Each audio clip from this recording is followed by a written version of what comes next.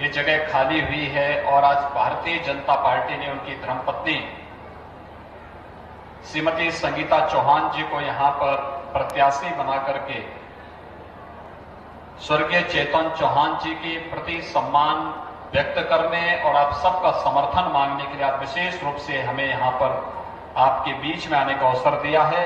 मैं इसके लिए आप सबका हृदय से अभिनंदन करता हूँ। आपका स्वागत करता हूँ। और स्वर्गीय चेतन चौहान जी को अपनी विनम्र श्रद्धांजलि भी अर्पित करता हूँ।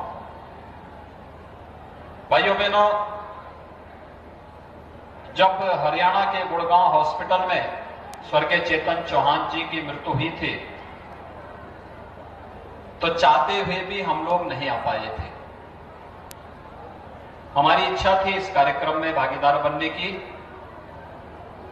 लेकिन वैश्विक महामारी कोरोना को देखते हुए उसकी जो गाइडलाइन थी, उसके अनुसार हम लोग आ नहीं सकते थे।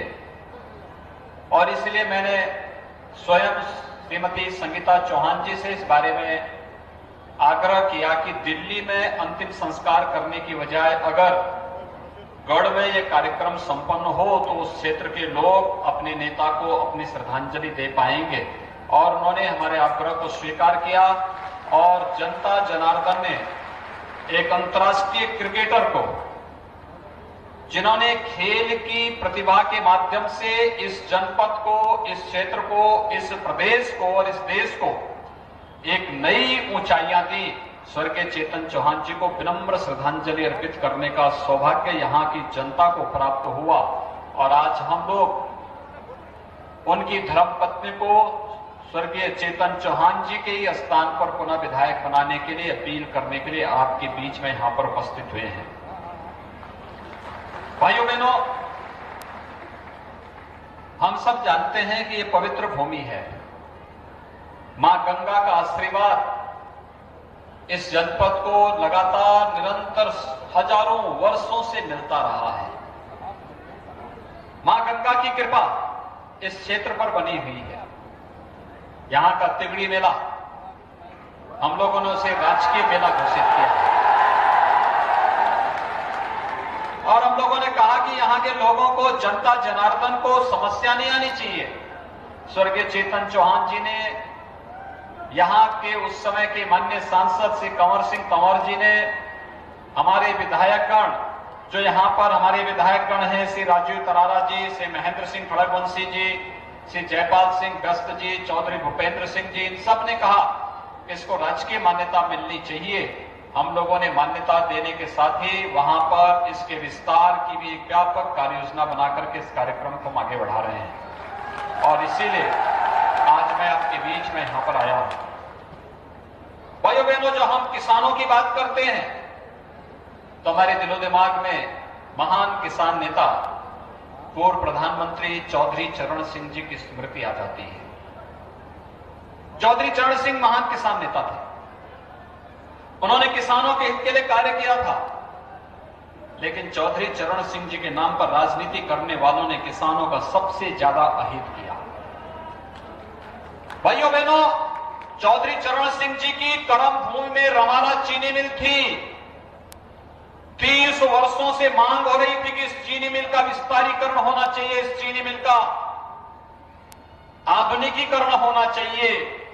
लेकिन कोई नहीं कर पाया।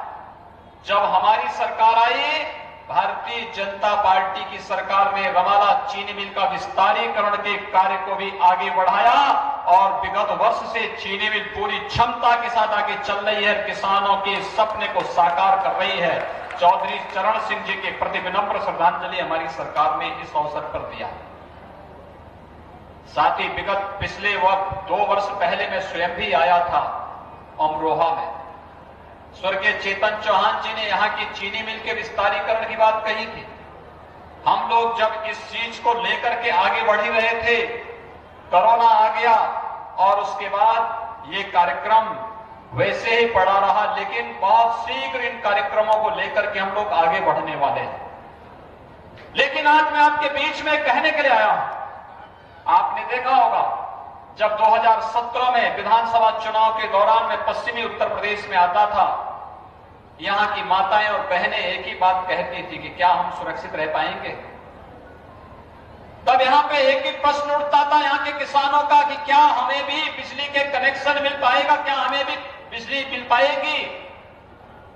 तब यहाँ पर एक ही प्रश्न होता था यहाँ की बहनों के द्वारा यहाँ की माताओं के द्वारा यहाँ के व्यापारियों के द्वारा क्या दंगों का, का सिलसिला यहाँ बंद हो पाएगा? आज आप देख रहे होंगे या तो आपके अमरोह का ढोलक बसता है या फिर यहाँ के बदमाशों के ठोकने का कार्य पुलिस करती है। ये दो कार्य आप पूरे प्रदेश के अंदर देख रहे होंगे। दो ही चीज़ आपको सुनने को मिलती होगी तो या तो अमरोहा के ढोलक की थाप या फिर अपराधी। यहाँ से नौ दो ग्यारह। अब अपराधी दंगा नहीं कर सकता, कोई माफिया दंगा नहीं कर सकता। माफिया और अपराधी के साथ क्या व्यवहार होना चाहिए? एक समय था जब सत्ता इनकी सरप सरप्रस्त बनकर के इनके सामने नतमस्तक होती थी। मुजफ्फरनगर का दंगा, बोले नहीं होंगे। सचिन और गौरव नाम के लड़के की किस निर्ममता के साथ हत्या हुई थी? कैसे दंगे हुए थे? महीनों तक दंगे चले थे। केराना और कांधारा से व्यापक पैमाने पर व्यापारियों को प्लान करने के लिए मजबूर होना पड़ा था।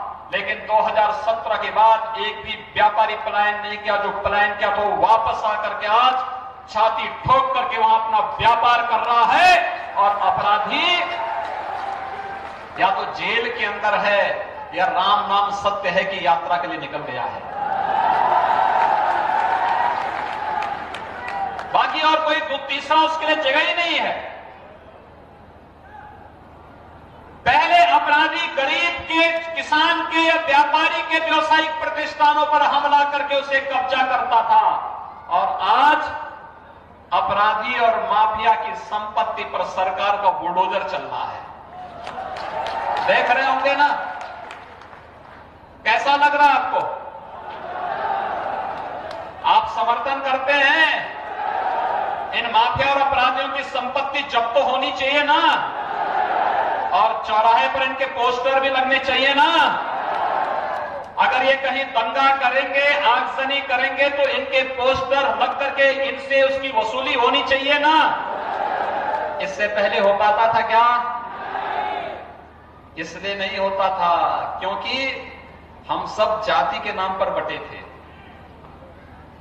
हम सब विभाजित थे और गुंडे गुंडे एक होकर के जनता को लूटते थे।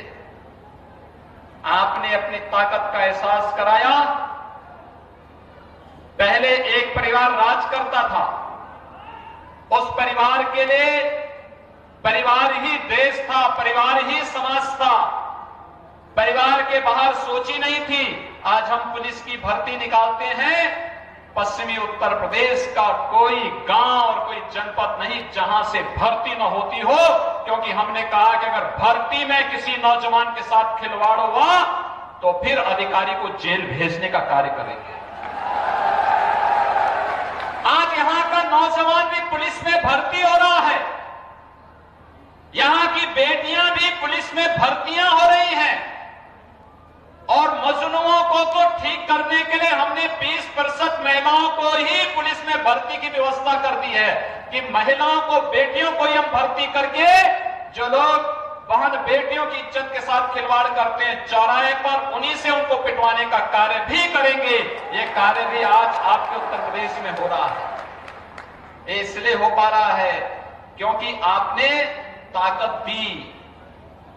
जिनके लिए देश और समाज ही परिवार था, उस परिवार के बाहर उनकी दृष्टि नहीं थी। हमने कहा, नहीं, उत्तर प्रदेश की 24 करोड़ जनता ही हमारे लिए परिवार है और इस 24 करोड़ जनता की सुरक्षा के लिए, इनके सम्मान के लिए जो कुछ भी करना पड़ेगा, हम लोग करेंगे। और भाइयों बहनों हम लोग उस प्रकार का कदम उठा रहे हैं। अन्यथा लोग क्या सोचते थे? कोरोना जब आया, लोग मुझे फ़ोन करते थे, क्या कैसे बचेगी उत्तर प्रदेश की जनता? मैंने कहा, उत्तर प्रदेश की जनता की ज़िम्मेदारी मेरे ऊपर छोड़ दीजिए। हम लोग दिन रात एक कर लेंगे। और आवश्यकता पड़ेगी तो उत्तर प्रदेश की जनता को बचाने के लिए यमराज से भी भिड़ जाएँगे।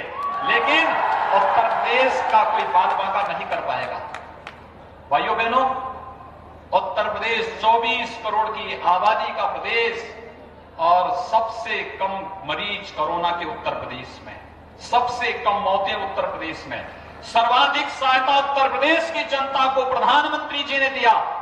उत्तर प्रदेश में 18 करोड़ गरीबों को हर महीने दो दो बार, यानी इस समय चौदहवें बार, हम लोग राशन उपलब्ध करवाने का कार्य कर रहे हैं। ये पहले क्यों नहीं वितरित होता था आज देश के अंदर मोदी जी ने राजनीति की दूरी को बदल दिया है। पहले जाति की राजनीति होती थी, क्षेत्र, मत और मशब की राजनीति होती थी। देश की कीमत पर राजनीति होती थी।